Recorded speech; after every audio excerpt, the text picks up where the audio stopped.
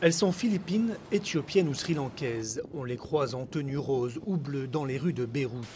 Une fois franchi le seuil de la porte de leur employeur, certaines vivent un véritable enfer. Rebecca a été recueillie par l'association Caritas après seulement trois mois chez un employeur violent. Ils me traitaient très très mal, ils ne me donnaient pas à manger. Je me levais tous les matins sans avoir dormi. La maltraitance des travailleuses domestiques. Le débat a été relancé par cette vidéo postée sur Internet et diffusée par les télévisions libanaises. On y voit un agent de recrutement qui brutalise une Éthiopienne de 34 ans. Un mois plus tard, la jeune fille se suicide dans un hôpital psychiatrique. La scène se déroule au pied du consulat éthiopien. Les diplomates ont été accusés d'inaction, eux s'en défendent et disent recueillir des dizaines de jeunes filles victimes de maltraitance chaque semaine.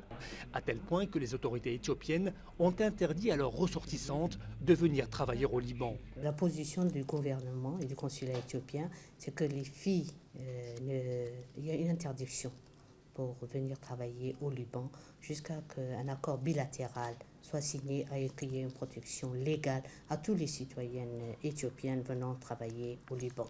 Le ministère du Travail reconnaît des cas de maltraitance, mais se plaint de ne pas avoir les moyens légaux pour agir.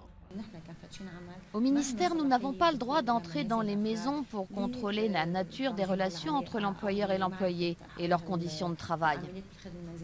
Les associations réclament au gouvernement une loi qui protège réellement les employés de maison. Face aux nombreux cas de maltraitance, d'autres pays ont interdit à leurs ressortissantes de venir au Liban. Conséquence, des réseaux clandestins ont vu le jour. Mais les jeunes travailleuses continuent d'affluer avec l'espoir de salaires meilleurs.